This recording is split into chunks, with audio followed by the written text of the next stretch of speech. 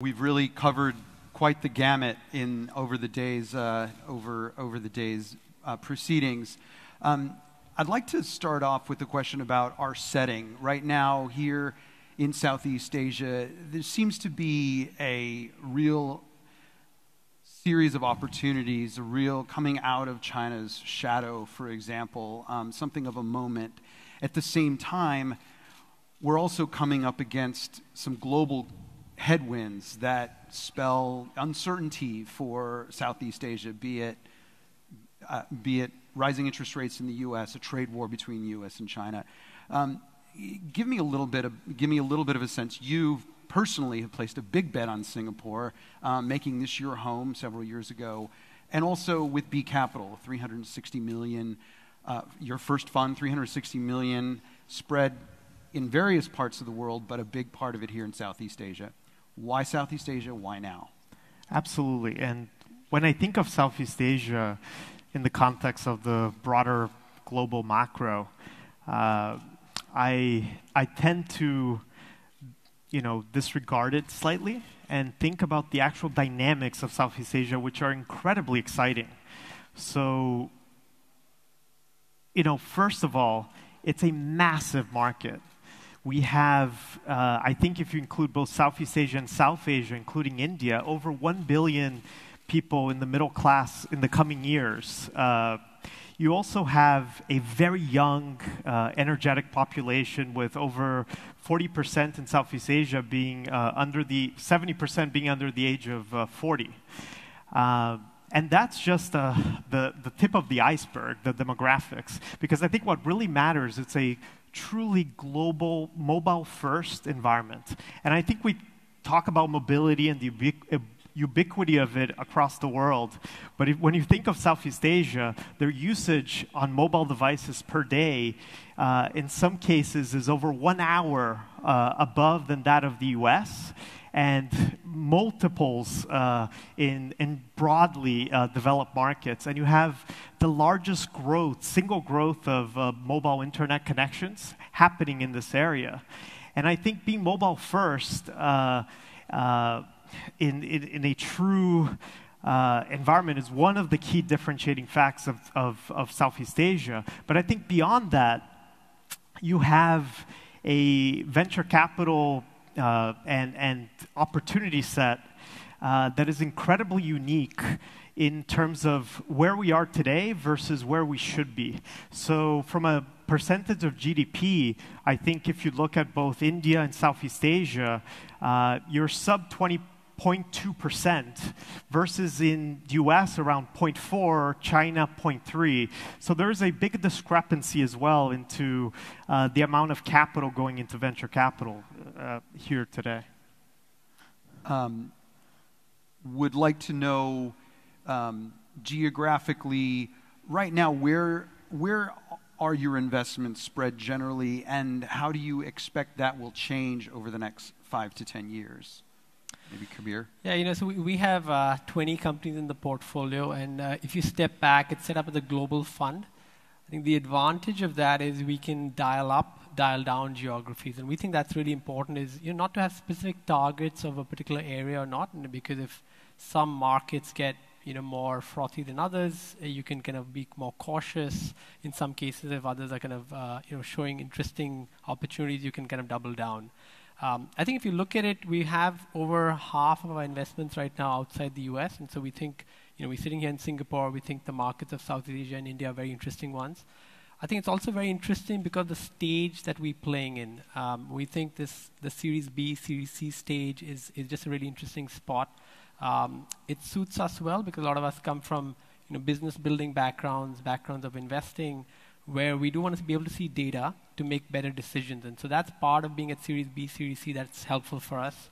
Uh, but also then how do we connect some of those interesting companies to larger corporates? So when you put that all together, we think of you know big opportunities um, that are there, especially in this stage. Uh, we think Southeast Asia and India is really important markets. Um, and you know we'll look at portfolios purely from a global lens, uh, even when we evaluate them.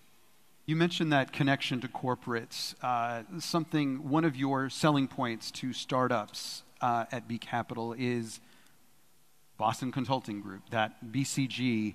Um, that's something you sort of tend to wear on your sleeve a bit.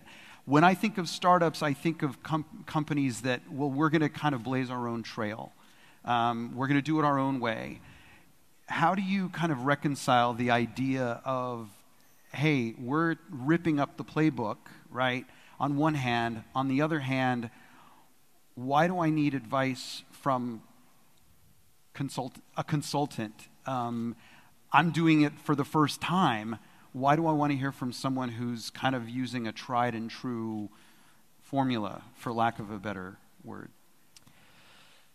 You know, I think that if we step back and we think about BCG or our partnership, I think there are uh, three really tangible areas in particular where, where we of it, it helps us. I think one is since we're attacking or thinking about large traditional industries, um, I think an understanding of what those industries are, you know, what's happening in the industry is very important. And you know, an institution like BCG's got you know, just immense uh, understanding and knowledge of that, right? So if you look at the industries we focused on, transportation, seven percent of world GDP. Uh, you look at healthcare, nine percent of world GDP. Uh, you look at financial services, 15% of, of world GDP. These are large sectors which you want to be able to understand what players in the sector are doing, and that you know a, a partnership like this is very helpful for us. I think second is because we're going global, I think we want to be able to understand trends very deeply and very kind of quickly, and so that helps us in that context. And third is, I think the days of you know uh, young startups in a garage trying to disrupt the world was was interesting, but I think wouldn't be fantastic that if they could get the support to connect to some of the large corporates. And so I think that being that interesting translation engine, something we do and some of our partners help us do that much better. And I think, you know, just to add a few a, a few things, meaning it's, you know, the aura of entrepreneurship is as as Kabir was describing, young kids in our garage, dorm room, incubation space, taking on the largest businesses in the world and uh, ultimately, one way or another, turning them into a zero. Uh, but I think we're past that today. And there's a, I think there is a, a, a, a, positive synergistic relationship in my view, especially as you start moving away from uh, slightly easier markets to tackle like media and, and commerce, despite the, its complexity, to incredibly regulated, incredibly large traditional industries, where young kids in a garage, dorm room, incubation space should actually you know, take a step back and say, what can I leverage? How can I bring my agile development, my technology, my new way of thinking to the assets, distribution network, regulatory know hows of the largest businesses in the world? And somehow develop a relationship where uh, the agility of a startup can be tied with the comprehensiveness, market knowledge, and establishment of the big businesses in the world. And frankly, how are you going to get technology to the hand of consumers quicker? Is not by disruption, is by transformation. And in transformation, it I think at the heart of it is partnership first. Don't go destroy everyone else and try to take everyone on. Try to do that in part but look at those partners that genuinely can align. And in some ways, right, if you think about the evolution of the, of, of the web and platforms, uh, Facebook in its early days became a platform and opened its APIs to a bunch of businesses. Why shouldn't the largest businesses of the world be viewed to startups as an asset base?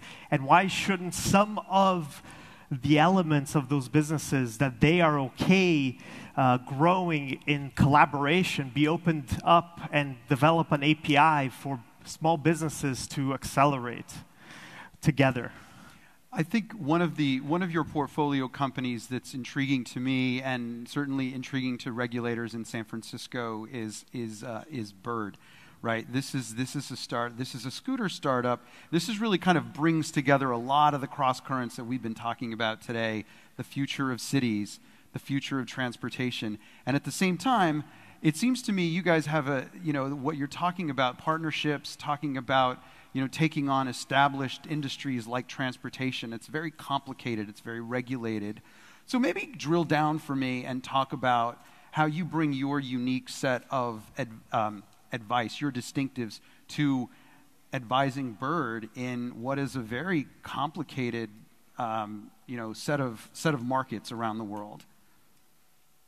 Yeah, so you know, if you, if you look at Bird, I think it's uh, one, you know, part of, of course, what excited us was uh, just the you know immense scale and transformation potential. We, we saw literally month on month they were kind of doubling uh, number of rides. So we think you know immense potential. I think you know where partnerships help is you know how do you think about as you go from city by city, and how, how do you think about being partners and think about the win-win situations there, right? So.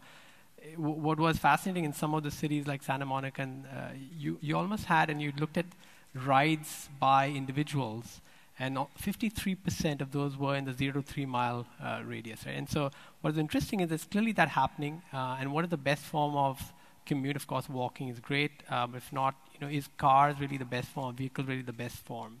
Uh, I think here it's a win-win where you know it's it's carbon free. You kind of got an environmental benefit. Um, you've got a benefit where consumers can often get there much quicker. I think here in, in markets like in Asia, we see things like traffic congestion are, are kind of big issues. And so you can see those as win-win situations.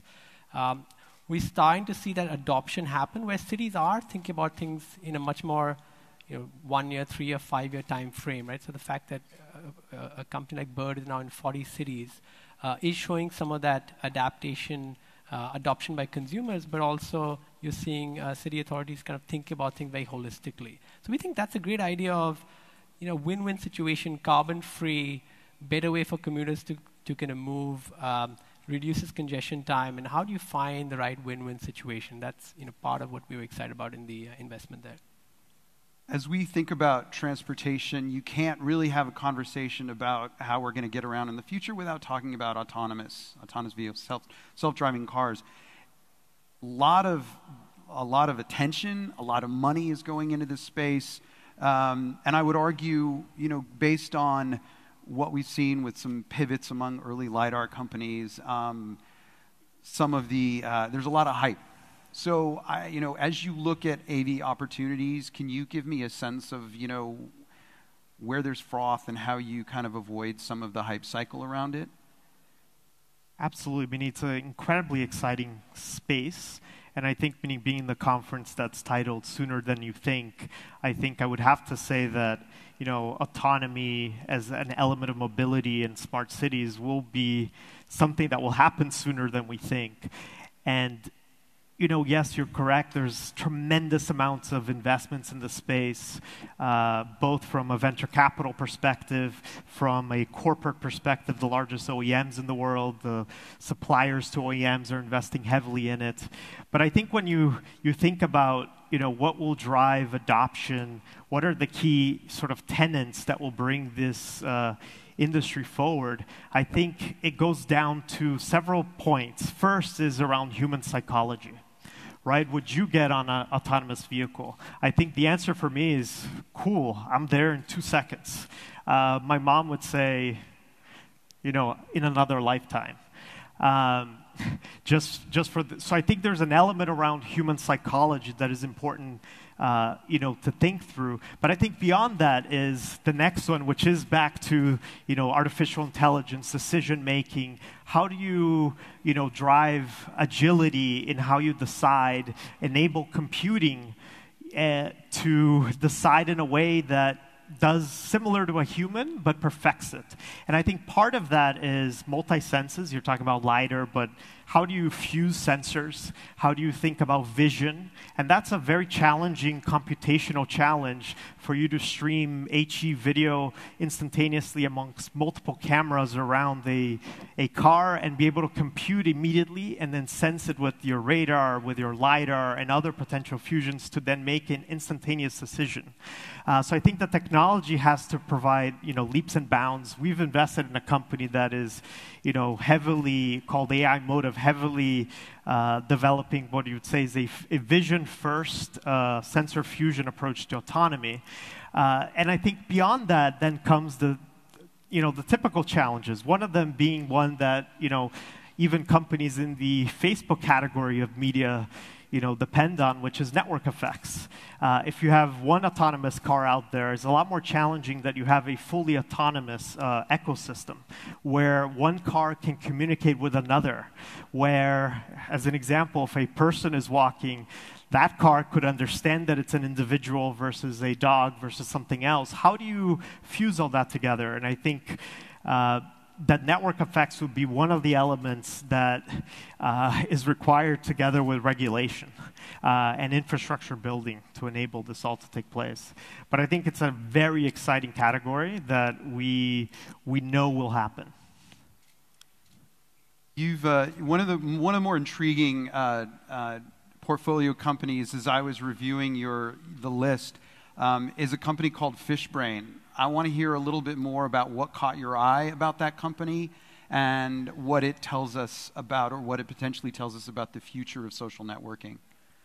So, you know, bef- before Eduardo talks about the future of social networking, you know, what I found fascinating when we were looking at that, and uh, you know, long time back, I used to play golf. It, it, seemed to have stopped over the last five years. No time left. No time left. Uh, but what was shocking is uh, the whole sport fishing industry um, is actually larger than golf as a category. So it's a really large market size, uh, which, which obviously first caught eye. Um, and it's an interesting pattern that you see where even like on, on Fishbrain, they're, they're kind of uh, uh, 5 million users that are, that are kind of on the platform, uh, really thinking about things of you know, sharing things about data, weather, uh, of course, there's a bit of uh, you know sharing what kind of the size of a catch, etc. And so there's there's a lot of uh, I'd say a, a, discrete community that's keen to kind of talk, discover, share. Um, and that in a large market, and then you, you add on a terrific founder and team is, is what we found very exciting. Yeah, and I think meaning social networking is, is a, a broadly defined term, but I think, you know, this, this evolution of uh, nichification of, of how we engage, interact, I think is, is, is, is, just going back to the broader thesis, which is, you know, the, even to the early days of Facebook, it's about mimicking what happens in the real world. It's about uh, enabling you into, to interact with, with individuals in an authentic way uh, that enables it to happen efficiently. And what, what happens even for today, I believe, and in the future for horizontal networks, is a lot of the use cases aren't per se broad. Uh, they are highly niche, right? If you think of the messaging layer of, of networks today, a lot of that is one to one or group based. Uh, in large networks, you see the you know, evolution of uh, beyond just chatting, group based behaviors, uh, social viewing of videos, uh, social selling that developed itself into niche formats like marketplace in the example of, of facebook something that evolved you know very naturally. And i think when you think of niche networks like a fishbrain what you have to think about is is first is it a is it a category where there is enough people interested in it and fishing meaning i was a a, a uh, hobbyist when I was young, and, and maybe part of the reason it caught my eye is let me go back to my uh, childhood. Uh, and uh, do a little bit of fishing. But it is one of the largest uh, uh, hobbies in the world. Uh, second, what is the level of engagement that people have in it? Is it, okay, a lot of people do it, but do they have deep passion for it? Is it something that they will spend a lot of time around? I think, I think the you know, third category is a, a, more practical one. Is it monetizable? Is it a large market? Which the, the fishing industry ends up being. And then is there an actual benefit in having a different interface? Uh, in a, a, different UI layer experience to make it efficient? And I think the answer is yes uh, in respect to, to, to, fishing. And it sounds, uh, meaning at the surface, investing in a, you know, in a fishing-related community, whoa, where did that come from? But uh, it really fits every single one of those criteria in, in, in a very clear way.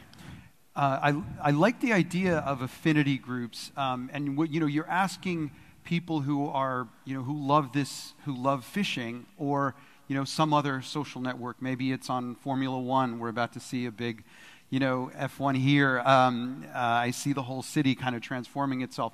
You name it. We're always asking people to become part of a community, um, and that sounds great, especially at the outset. Um, what kinds of advice do you give to management of a portfolio company like Fishbrain when it comes to seeing the unforeseen circumstances, one could argue that, in fact, people at, at Facebook and Twitter and, and other social, social platforms have talked about, you know, we, we just didn't foresee the ways that information could be misused, could filter out and get, you know, get, get misused and used against people. So, kind of, how do you advise somebody at the early stages, um, you know, sort of at the first floor of building this to avoid those unforeseen circumstances? Do you want to go first, Kabir? I'll, I'll let you take that. sure.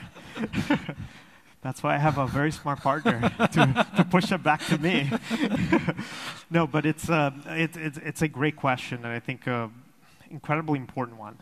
Um, you know, one thing that I would say, meaning back to, you know, some of the comments that you made to sort of the early days of, you know, Facebook and, you know, what we would have thought of, uh, you know, how the data and the community was going to develop. I mean, humbly, I say there's no way we would have imagined the community to grow as big as it did, and its use cases to become as, as, as, as massive and, and, and widespread as, as it has become. Uh, but to be an entrepreneur, you have to have an intrinsic optimism in the use case. And in that case, it was a pretty obvious starting point of college students building something for college students. And I think at the broader calculus around how do you look and evolve a community is it's back to the fundamentals in terms of advice to our entrepreneurs. First and foremost, uh, you know, develop intrinsic understanding of the product market fit. It was easy for us in the early days of Facebook because we were building for college students, eventually happened to have a much wider use case. Uh, and, and helped you know, develop the system to connect the world. But make sure you understand who you're building it for. Make sure you developed iterative types of tools to describe the, the give and take. If you provide data, if you provide information, this is the benefit that you're getting from it. Uh, and this is its use case uh, going forward. Uh, in, in some ways, it's, it's a calculus uh, that you need to be very sort of uh, uh, purposeful with and deeply continue to be agile, understanding your users and adapting going forward. And I think that ultimately will serve you, will serve you right. Uh, it's stay true to your users, your commercial use case, but clearly uh, provide a UX interface, a, a clear understanding of the calculus on all ends. Before we get, I, I want to pivot away from Facebook. Don't worry, I'm not going to talk about that all day long. But I do want to ask you know, it's been a rough year for them. Um, as you sit halfway around the world with someone who has a very clear vested interest in that company, what's it been like to kind of watch the, the trajectory of events unfolding there? Yeah, of course, it's uh, difficult to see a company that's so close to my heart, you know, going through a, a point of, you know, public scrutiny as they have been going now. But one thing I will say is I have tremendous faith in, in Mark, the team that he has built around him, uh, and, and frankly, in, in the intentions that, you know, Facebook was born out of, uh, you know, from, from day one, and, and how they are developing solutions going forward, and how they're starting to implement them that you know they will you know get through this. I think uh, you know it suffices to say that you know with with a team that has you know at, at its core philosophy listening to to users listening to parties that they engage with uh, and trying to adapt uh, to the circumstances from day one uh, that's what we were an agile firm uh, they, they, they'll weather through this. Once again, in yesterday's hearings in the U.S., Sheryl, Jack were there. Once again, the question of government regulation came up. Um, should social networks be subject to greater regulation, and is it inevitable? I think you know it's it's it's not a question of if; it's a question of the type of regulation. Always, the one thing as a as a outside outside observer in the case of you know, Facebook, and, and today I'm not a direct entrepreneur in the uh, social uh, category. I'm not running my own business today. I'm helping others scale their, their businesses. Uh, you know, what I would say is the, you know, the, the ecosystem needs to be fully and utterly open to working with government, uh, industry, and whoever it might be to, uh, to, uh, to drive, if required, the best type of and possible type of regulation. But one thing I would always prevent is the type of regulation that might stifle innovation, right? This idea that very large businesses you know, might have the capital and resources to, you know, answer to regulatory frameworks while uh, smaller, agile ones might be less able to. So whatever comes out of this, and I think there's there will be some healthy solution. Do one that never stifles innovation and the ability to democratize innovation in, in, in that field and category. Thanks. And you know, if you if you almost take that, you move slightly when you talk about from a B capital perspective and some of the industries we're looking at, um, you know, the other other what is interesting is a lot of industry that we focused on. If you look at healthcare, financial services, transportation, uh, you know, a lot of those are actually heavily regulated uh, industries, right? And so I think what becomes quite useful next three years, five years, ten years is for a lot of technology companies to be thinking about regulation, to be working with partners who kind of understand that. Um, and you know, coming back to the earlier point we were talking about, it is a partnership-first approach. And, and, so, how do you work very closely with your partners to really transform uh, some of these businesses? So that's the other thing which we constantly think about in you know from a B, B capital perspective. Another region that has grabbed your attention, um, and certainly that of many venture capitalists, is India. Obviously, um, MSwipe is the payments company that yep. you uh, is part of your portfolio there. Um, a lot of venture, a lot of startups in India are very dependent on foreign capital. Um, at the same time, there are times where we hear rumblings about you know foreign capital being a sort of a bad thing. Um, um, and the sort of the impetus to be a little bit more protectionist of local of of of local industries. Can you talk a little bit about the opportunity and the challenge uh, of India right now? Maybe start with you, Kabir, and why MSwipe seemed like the right choice at this time. Yeah, so let me talk about the India opportunity and then kind of M-Swipe. I think uh, at some level, in fact, India has been very open um, to kind of venture capital, private equity, right? So when I in fact, uh, having, having worked in the US for a few years, moved back in 06, I think that's been, since 06 onwards, you've seen in general evolution of private equity venture in general. Um, you've seen lots of interesting investments. I think at some point there has been some question on saying how many exits uh, do you see. I think the Flipkart uh, exit was actually very healthy for the ecosystem. Uh, I think you're going to see a lot more of those going forward. I think entrepreneurs are focused on that. Um, you know, investors are focused on that, LPs are focused on that. So I think that's very positive in that in that context. I think it's really interesting market because it's now a combination of things coming together. You have almost like 450 million internet users. Again, young population. You know, average age is about 28, 29. Um, you're starting to see interesting help with uh, regulation as well, right? We had this. Um, the, the GST, which was trying to standardize, you know, standardize taxes, and so that's there's a lot of impetus happening to kind of scale scale the country. Um, very high quality entrepreneurs, and now you're seeing the next generation of entrepreneurs. Like recently, I was reading a um, funding of ex Flipkart uh, executive, and so you're seeing the next generation of serial entrepreneurs come out, and so that's an interesting space. I think we're also seeing a lot of the two types of opportunities: India for India and India for the globe, right? And so even before we go to MSwipe, we've invested in a company called iCertis, which is actually, you know, we think it's going to be the contract management platform of the world. But the development of that is actually happening in, a, in, in, Pune, uh, based out of India. But all clients, uh, companies headquartered in Seattle, but it's really powering the innovation of a really large category. Um, I think in India, we took the view in, you know, a couple of things. One is even in commerce or e-commerce, uh, how do we back some of the enablers? And so there we've backed things like uh, Bizongo, which is a B2B commerce in the packaging space. MSwipe was part of that theme and thesis, which is saying we're seeing a big move of, of kind of payments, a move to digital, uh, and then how do we almost su- support a company which could be almost like the Square for for the region, uh, really transform uh, uh, transform an old industry. And so I think that's that was what excited us. Um, if you look at the number of merchants, small merchants in India, there are actually 15 million small merchants. Uh, and Swipe's you know, one of the largest independent acquirer in that space.